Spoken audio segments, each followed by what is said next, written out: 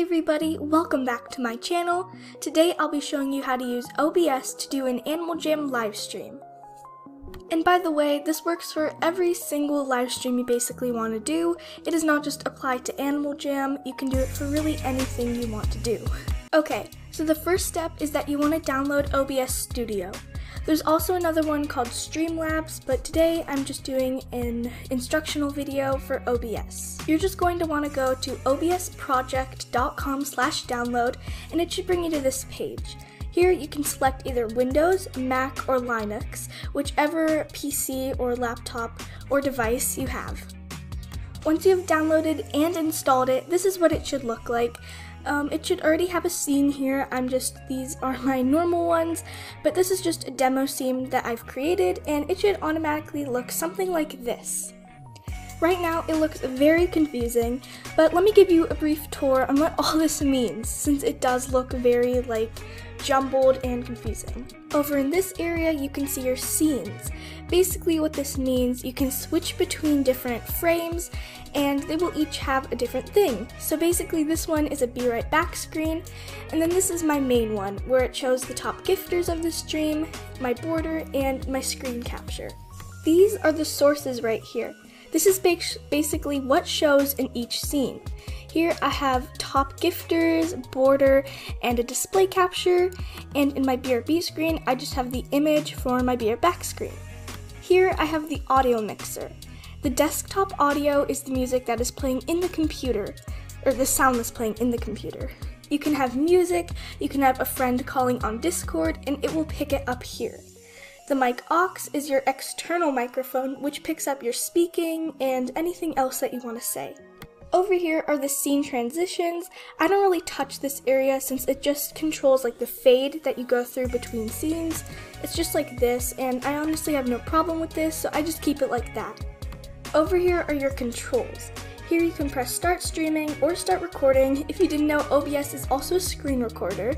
You can start your virtual camera and you can go into studio mode, you can go into your settings, and then you can exit the window.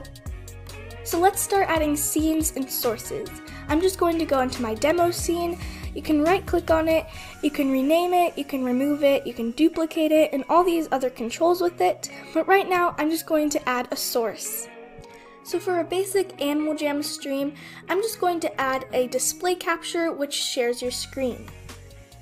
I'm just going to name it Animal Jam, and you can just leave all this. So now it'll show this, and it automatically shows your screen. You can click the hide button to hide this, or you can click the I button again to make it to make it visible. Now, say you want a border for your Animal Jam stream or really any stream, you're going to click the plus button again and you're going to press image. This should pop up here where you can name it. So I'm just going to name it border demo and I'm just going to press OK and it'll allow you to browse your computer for the image file. Now it's on the screen you can just simply make it larger or make it smaller, really what works for your stream. You can keep adding things to this, like a text file, and you can just press, you can just put like top gifter or something, press OK, and it should allow you to select a font. So if you have any fonts that match your um, theme or anything, you can do this. I like to leave the font size because it makes it a little blurry if I just have it, um, if I make it smaller, and then you're gonna type whatever you want to type. So I've got everything typed here and you can scroll down and select your color, the opacity of it, and anything like this, but I really just like to leave it at that since when I'm making changes to my text files while in a stream. Now you're gonna press OK and it should show up here. You can drag it around and make changes to the size of it, whatever works for you. You can add a ton of different sources and experiment with all of them. For instance, a video capture device if you want to have your face on there, or an image slide slideshow, or really anything here. Now let's talk about actually going live using OBS. You're going to go into YouTube Studio or just press the Go Live tab on your home screen.